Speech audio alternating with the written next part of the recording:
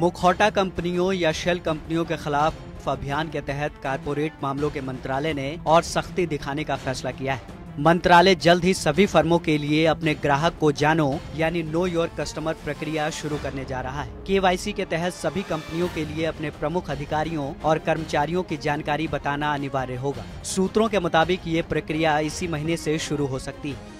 मुखौटा यानी शेल कंपनियाँ वो फर्म होते हैं जिनका वजूद सिर्फ़ कागजों पर होता है और जिन्हें छिपाए गए धन या गैर कानूनी गतिविधियों के लिए ही बनाया गया होता है। कारपोरेट मामलों के मंत्रालय ने पिछले साल सभी रजिस्टर्ड कंपनियों के डायरेक्टरों के लिए के प्रक्रिया शुरू की थी।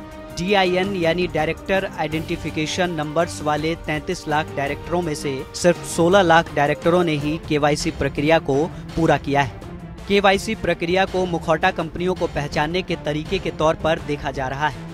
यही वजह है कि जिन्होंने अपनी जानकारी नहीं दी है, वो सभी जाँच के दायरे में है। इसके अलावा के प्रक्रिया को अपनी फाइलिंग से भी लिंक किया जाएगा।